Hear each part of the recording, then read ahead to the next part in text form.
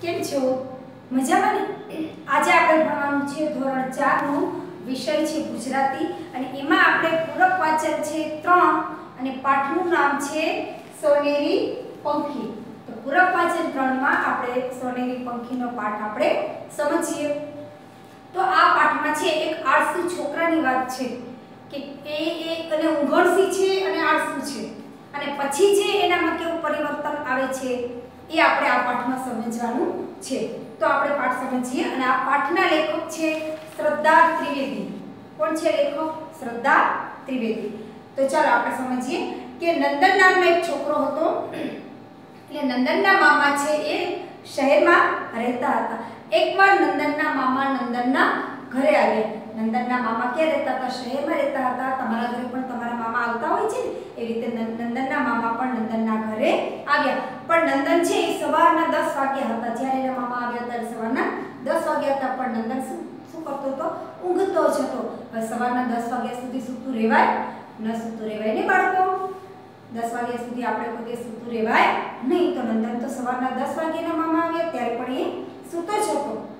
અને નંદનને અગિયાર વાગ્યાની તો એની નિશાળ હતી. એને અગિયાર વાગે તો શાળાએ જવાનું હતું. ખૂબ લગ, નવાઈ લાગી એના મામાને તો. તેમણે તો નંદનને જગાડ્યો કેમ કે તમારા મમ્મી કોઈ દિવસ તમે રીતે સૂતા હોય તો તમારા શાળાનો ટાઈમ થાય ત્યારે તમને ઉઠાડતા હોય છે ને એવી રીતે એના મામાને તો ખૂબ નવાઈ લાગી. તેમણે તો નંદનને છગાડ્યો કે છે. નંદન તો ઉઠ્યો. પણ બાકી કેટલા બધા ગયા હતા? સમય તો થોડો હતો એની પાસે. કેમ કે દસ વાગે ઉઠે, દસ વાગ્યા સુધી તો અગિયાર વાગ્યાની શાળા હતી એટલે એની પાસે સમય તો ખૂબ જ ઓછો હતો.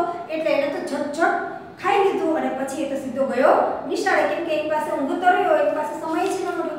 એટલે એને ખાવાનું તો કેવું ઝટપટ એને ખાઈ લીધું અને એ તો નિશાળે ગયો. નંદનના મમ્મી એને કહે છે કે આવું જ થાય છે, એ કહે છે. ભારે ઊંઘણસી છે, તો એ કહે છે. નંદન તો કેવો છે સાફ બહુ જ ઊંઘણસી છે. એના મમ્મી એને કહે છે કે આવું જ થાય છે, એ કહે છે. નંદન મોડો ઉઠે છે. ત્યારે લેસન પણ કરવાનો સમય એને ભાગ્યે જ મળે છે. મોડો ઉઠે તો ક્યાંથી એને સમય મળે લેસન કરવાનો? તો હોમવર્ક તો કરતો જ નથી. અને રાત્રે થાકેલો હોય છે એટલે તો ઊંઘી જાય છે. પાછો એક દિવસ એમ કે, એક દિવસ મને માથું દુખે છે, એક દિવસ મને પગ દુખે છે. એના મમ્મી કહે છે, એવું જ થાય છે, એમ કહે છે. મામા તો બે ત્રણ દિવસ એના ઘરે રોકાયા. તેમણે જોયું કે નંદન તો દરરોજ મોડો ઉઠે છે. અને અને એ તો કંઈ કરી શકતો નથી કેમ કે મોડો ઉઠે.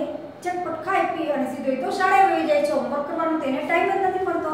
અને રાત્રે તે શું કરે છે? પગ દુખે છે, માથું દુખે છે એવું કરી અને તો સૂઈ જાય છે. બે ત્રણ દિવસ પછીની એક વાત છે. નંતર અંદર ઓરડામાં એના એના રૂમમાં, ઓરડા એટલે કે એના રૂમમાં એ સૂતો હતો. જાગી તો ગયેલો, પણ પથારીમાં ખાલી ખાલી એમને પડ્યો હતો. સવારના એ ઉઠી તો ગયો હતો, પણ આવા આળસુ હોય ને ઊંઘણસી હોય ને આવા, પણ એને આળસ એટલી બધી એના શરીરમાં હતી કે જાગતો તો છતાં એ ઉઠવાનું નામ જ નહોતું એટલે તેમના પથારીમાં એ તો અડકે કરતો હતો. નંદનના મમ્મી છે, એ મામાને કહેતા હતા. જો નંદનની મમ્મીને એના મામા છે એને કહેતા હતા, જો બહેન, એક ખાનગી વાત કહું. શેના માટે ખાનગી વાત કહેતો તો એ નંદનને લાગુ પડે એવી એની બહેનને ખાનગી એક એની સિક્રેટ એની વાત કહે છે. એવું એના મામાએ કહે છે એવું સાંભળ્યું છે એક સોનેરી પંખી છે કહે છે. શું છે? સોનેરી પંખી છે. જો કોઈ સોનેરી પંખીને જુએ તો એનો તો એ કે છે બેડો પાર થઈ જાય. બેડો પાર થઈ જાય એટલે કે એનું જે ધારેલું કામ હોય બધું એનું થઈ જાય કે છે એનો બેડો પાર થઈ જાય કે છે. અને શરીર પણ સારું રહે અને મન પણ સારું રહે કે છે. અને બધા કામ છે એ સારી રીતે કરી શકીએ એ કે છે. એ પંખી કે મારા વિનુએ જોયું ને એ કે છે, ત્યારથી કેવું થઈ ગયું છે, એકદમ શરીરમાં હટ્ટો પટ્ટો થઈ ગયો છે કે છે. મારા વિનુએ એટલે જે મામાનો દીકરો છે એ કે છે એને આવું સોનેરી પંખી એ કે છે જોઈને તો એ કે છે એ તો હટ્ટો થઈ ગયો છે કે છે અને ભણવામાં આગળ આવી ગયો એકદમ એ કે છે આ તારા નંદન કરતા ઉંમરમાં નાનો છે પણ દેખાય છે તો એ કે છે કેટલો મોટો દેખાય છે કે છે ક્યારે દેખાય છે કે છે એને સોનેરી પંખી જોયું છે કે છે આ સાંભળી અને નંદનને નંદનની મમ્મીને કહ્યું પણ એ સોનેરી પંખી હોય છે ક્યાં કે છે એ ક્યારે દેખાય છે કે છે મામા કહે, એ જોવા માટે તો સવારના વહેલા ઉઠવું પડે કે છે. અને સીમમાં જવું પડે. સીમમાં એટલે કે ગામની બહાર જે ખેતર હોય, ખેતરમાં જવું પડે. ત્યાં ખુલ્લી જગ્યાએ ખુલ્લી જગ્યાએથી બહુ સરસ રીતે દેખાય કે છે. જો એ કેવો એના માટે થઈને ઉઠાડવા માટે કેવો આઈડિયા કરે છે કે છે, વળી એ પંખી એવું છે ઓછા ઓછું તમે બે ત્રણ મહિના એની પાછળ પડો ને, ત્યારે જ એ પંખી તમને જોવા મળે કે છે. અને ત્યારે તમને માંડ ઓળખાય કે છે. બહેન હવે એ કે છે, મારું કામ પૂરું થઈ ગયું એટલે હું આજે જાઉં છું, એ છે. કોઈ વાર એ કે છે, મને તું કાગળ પત્ર લખજે, એ છે. આ બધી વાત છે એ અંદર અંદર પડ્યો પડ્યો માં બધું સાંભળતો હતો. તેને થયું કે વિનુની જેમ જો મને સોનેરી પંખી જોવા મળી જાય, તો બસ મારો બેડો પારતી રહી કે છે. એ જોવા માટે મારે વહેલા ઉઠવું પડે એટલું જ નહીં કે છે. એને પણ મનમાં નિશ્ચય કરી લીધો કે મારે પણ સોનેરી પંખી જોવું છે કે છે. તે રાત્રે તે તેના પપ્પાને એવું કહીને સૂતો કે મને વહેલા પાંચ વાગે ઉઠાડજો. એના મમ્મી પપ્પાને નવાઈ લાગી કે કોઈ દિવસ આ આ છોકરો વહેલો ઉઠતો નથી, આ નંદન વહેલો ઉઠતો નથી ને આજે એને અચાનક શું થઈ ગયું કે છે? એવું એના પપ્પાને કહી શું છે કે હું સવારના મને સવારના પાંચ વાગે ઉઠાડજો. તેની આ વાત સાંભળી અને તેની મમ્મી પપ્પાને આશ્ચર્ય થયું અને સાથે સાથે આનંદ પણ થયો કે સારું, મારું નંદન તો સવારના પાંચ વાગે ઉઠી જવાનું છે. બીજે દિવસે નંદન સવારે ઉઠ્યો ને તો ફરવા ગયો. શેના માટે ફરવા ગયો? એને સોનેરી પંખી જોવું હતું. એટલે ગામના તળાવના કિનારે આવેલા મંદિરે એ તો ગયો. કોઈ કે સહેલું ઉઠ્યો જ નહોતો મંદિર કે સવારનો સમય કેવો હોય છે એ જ નંદનને તો ખબર જ નહોતી. ત્યાં તો ઘણા લોકો આવેલા જોયા એને તો. આજ સુધી તેને કંઈ ખબર જ નહોતી. અને ફરતો ફરતો ઘણી વાર પછી એ તો ઘરે પહોંચ્યો. થાક્યો તો હતો, પણ ખુલ્લી હવામાં ફરવાથી એને સરસ લાગ, સારું લાગ્યું હતું. જો આપણે સવારના સુકામીને વોકિંગ કરવા નીકળીએ છીએ, સુકામીને ફરવા નીકળીએ છીએ કે આપણે આપણા શરીરમાં એકદમ ફ્રેશનેસ આપણને જોવા મળે, આપણે એકદમ તાજગી અનુભવીએ. એટલે નંદન તો કોઈ દિવસ આવી રીતે ઉઠ્યો જ નહોતો, પણ આજે ફરવા ગયો, તેને તો મજા પડી. નાવ સરસ મજાનું એનું ખુલ્લી હવામાં ફરવાથી એનું સારું પણ લાગ્યું. મમ્મીએ તૈયાર કરેલું દૂધ પી લીધું અને પછી નાઈ ધોઈને તો શું કરવા બેઠો? લેસન કરવા બેસી ગયો. લેસન પણ બધું થઈ ગયું. બધા કામ શાંતિથી કર્યા અને સમયસર એ તો શાળાએ જતો રહ્યો. પછી તો તેનો ક્રમ આ દરરોજ આ ક્રમ એનો ચાલતો થયો. કોઈક વાર તે ઉત્તર દિશામાં જતો તો કોઈક વાર દક્ષિણ દિશામાં જતો. થોડા દિવસોમાં તો આખી સીમ એટલે આખું ખેતર છે એ બધી બાજુ તો ફરી વળ્યો. તેની તબિયત પણ સુધારવા માંડી.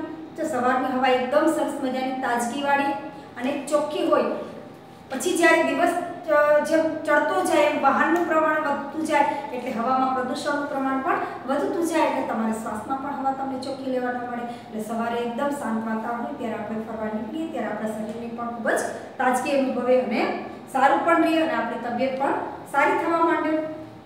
એકદમ એના ગાલ સરસ મજાના ભરાઈ ગયા. એને નવું કંઈક કામ કરવાનું પણ એને મન થતું હતું, એ ફ્રેશ થતો હતો, એટલે એને નવું કામ કરવાનું મન થતું મહિનાઓ પછી તો એવી સ્થિતિ થઈ ગઈ કે તેને ઉઠાડવાનો ઉઠાડવો પણ નહોતો પડતો. એની જાતે જ એ સવારના ઉઠી જતો હતો. એમ કરતાં કરતાં બે મહિના થયા. પણ નંદનને તો પેલું સોનેરી પંખી જેવું પેલું પંખી એને દેખાતું નહીં. એ દરમિયાન શાળામાં શું આવી? પરીક્ષા આવી.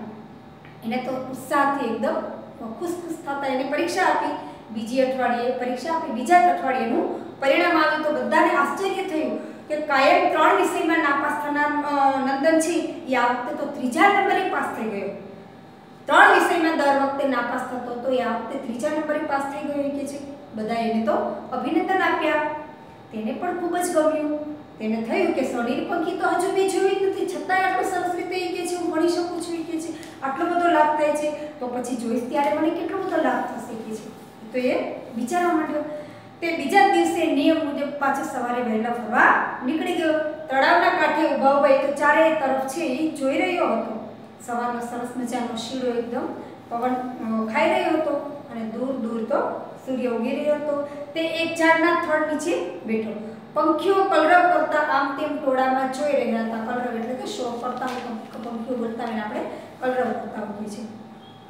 કેસરવર્ણા સૂર્યની કિનારે દેખાય સૂર્ય સૂર્ય ધીમે ધીમે ઉગતો એટલે સરસ મજાનો કેસરી કલરનો દેખાતો ધીમે ધીમે ધીમે સૂર્ય છે એ ઊંચો આવતો ગયો. સૂર્ય કઈ દિશામાં ઉગે? પૂર્વ દિશામાં ઉગતો હોય અને આથમે કઈ દિશામાં? પશ્ચિમ દિશામાં. તે જોઈને તેને અચાનક તેને શું થયું? શું મામાએ જે સોનેરી પંખીની વાત કરી હતી? તો કે જ્યાં સૂરજ જ નહીં હોય ને તે ઘરે ગયો અને મામાને તરત જ તો પત્ર લખવા બેસી ગયો. અને આપણે મોટાને પત્ર લખતા હોય આપણા કરતા એટલે આપણે શું સંબોધન કરીએ તો એને લખ્યું તું પૂછ્યો, મામા એ છે, તમે જે સોનેરી પંખીની વાત કરી હતી તે મને લાગે છે કે તો સૂરજ જ હશે કે છે. એને મેં જોયો, રોજ જોઉં છું અને હવે રોજ પણ હું જતો રહેશે કે છે.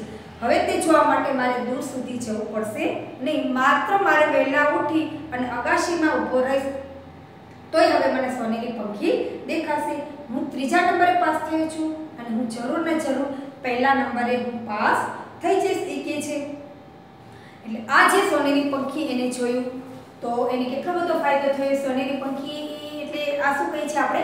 સૂરજ જે છે, એટલે નંદન ઉઠતો નહોતો અને એ દરરોજ નિત્યક્રમ એને સવારે વહેલા ઉઠવાનો થયો, તેને કેટલો બધો ફાયદો થઈ ગયો. એટલે બાળકો, આપણે પણ એ જ વિચારવાનું કે સવારે આપણે વહેલા ઉઠી જવાનું અને રાતના આપણે વહેલા સુઈ જવાનું. જેટલા આપણે સવારે વહેલા ઉઠીએ, એટલો આપણને દિવસ કેવો લાગે? લાંબો લાગે અને આપણે જે ધારેલું કામ છે, એ બધું જ કામ આપણે કરી શકીએ છીએ. તો આપણે આ પાઠ સરસ રીતે સમજ્યા. હવે પાઠના આધારે આપણે આ સમાનાર્થી વિરુદ્ધાર્થી શબ્દ છે, એ આપણે સમજીએ. તો આ સમાનાર્થી શબ્દ છે, સવારનો સમાનાર્થી શબ્દ થાય છે, પ્રભાત. નવાઈનો સમાનાર્થી શબ્દ થાય છે, આશ્ચર્ય. માથુંનો સમાનાર્થી શબ્દ થાય છે, મસ્તક. પગનો સમાનાર્થી શબ્દ થાય છે કદમ અથવા ચરણ. પંખીનો સમાનાર્થી શબ્દ થાય છે પક્ષી અથવા વિહંગ. શરીરનો સમાનાર્થી શબ્દ થાય છે તન અથવા કાયા. માણસનો સમાનાર્થી શબ્દ થાય છે મનુષ્ય. અને હવાનો સમાનાર્થી શબ્દ થાય છે પવન. મહિનાનો સમાનાર્થી શબ્દ થાય છે માસ. અને સૂર્યનો સમાનાર્થી શબ્દ થાય છે રવિ અથવા ભાનુ અથવા તો સૂરજ પણ લખી શકો આ આપણે જોયા સમાનાર્થી શબ્દ. ત્યાર પછી આપણે જોઈએ આ વિરોધી શબ્દ. સવારનો વિરોધી શબ્દ સાંજ ઊંઘવાનો વિરોધી શબ્દ જાગવું, મોડોનો વિરોધી શબ્દ વહેલો, વહેલાનો વિરોધી શબ્દ મોડું. છે આપણે આ ચાર ચાર શબ્દ લખેલા છે અને લાભનો વિરોધી શબ્દ છે ગેરલા ત્યાર પછી આપણે શબ્દ સમૂહ માટે એક શબ્દ. કે ખૂબ જ ઊંઘ્યા કરવાની ટેવવાળું હોય એને આપણે શું કહીએ? કે આ તો સાવ ઊંઘણસી છે. એને આપણે શું કહેવાય છે? ઉંઘણસી ત્યાર પછી સોના જેવા પીળા રંગનું તો કે સોનેરી. અને ખેતર કે ગામની હદ. એને આપણે શું કહેવાય છે? સીમ કહેવાય છે. તો બાળકો, આ પાઠ છે એ તમને બરાબર સમજાઈ ગયો હશે. અને આ જે સમાનાર્થી વિરોધાર્થી શબ્દ આપણે લખેલા છે બોર્ડ પર, એ તમારે કોઈ પણ નોટમાં નોટ કરી લેવાના છે. તો ચાલો, આવજો બાળકો.